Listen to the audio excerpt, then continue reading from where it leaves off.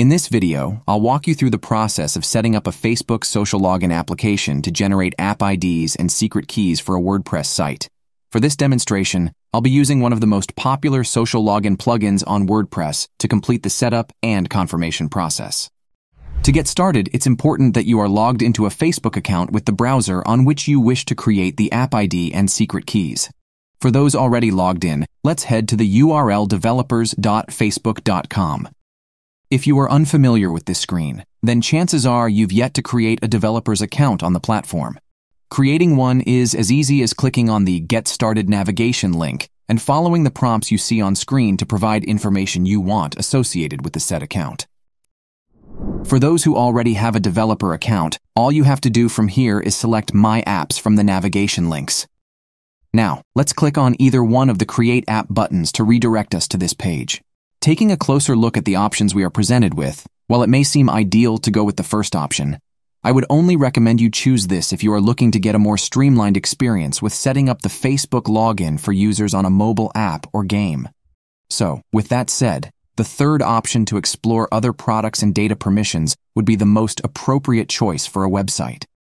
On this page, Let's choose Consumer as our desired app type.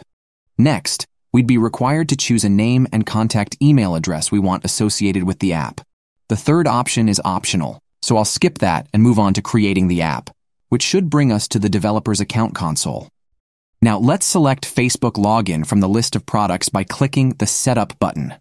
Choose the platform that best suits what you are creating this for.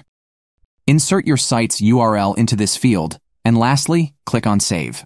And that's all we need to do for this page, as these tabs underneath are best suited for more advanced uses. Either way, let's save the site's URL again and navigate our way to the left while expanding the App Settings option and selecting Basic. On this page, we should be able to find the app's ID and secret keys, and because they are still under development, it simply won't work until we've toggled the app mode live.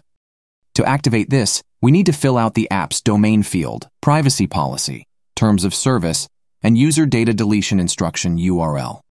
So let's start with filling out the site's domain, followed by its privacy policy URL. Keep in mind that these URLs need to be valid and accessible on your site to avoid configuration errors. So, I recommend you head back to your site if you don't have these yet to create the corresponding pages before continuing with the setup process. Also, I noticed including a forward slash at the end of each URL helps for a seamless configuration process. Meta requires that we fill out a URL users can access to request data deletion on your site. This could be an instructional page like this one, for example, or perhaps you may want to outline the information on your privacy policy page. Insert the URL into this page, choose your site's industry category, and then click on Save Changes at the lower right corner of your screen. Once the page reloads, we can then proceed to toggle this to go live. Now, in some cases, depending on the tool you might be using, the steps we just took are enough to reveal the app's secret keys and proceed with using them.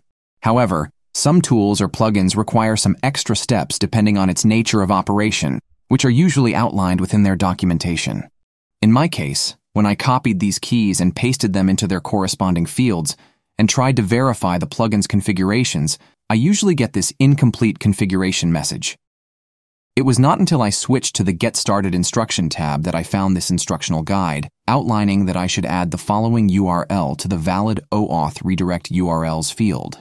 So where exactly can we find this field within the developer's account?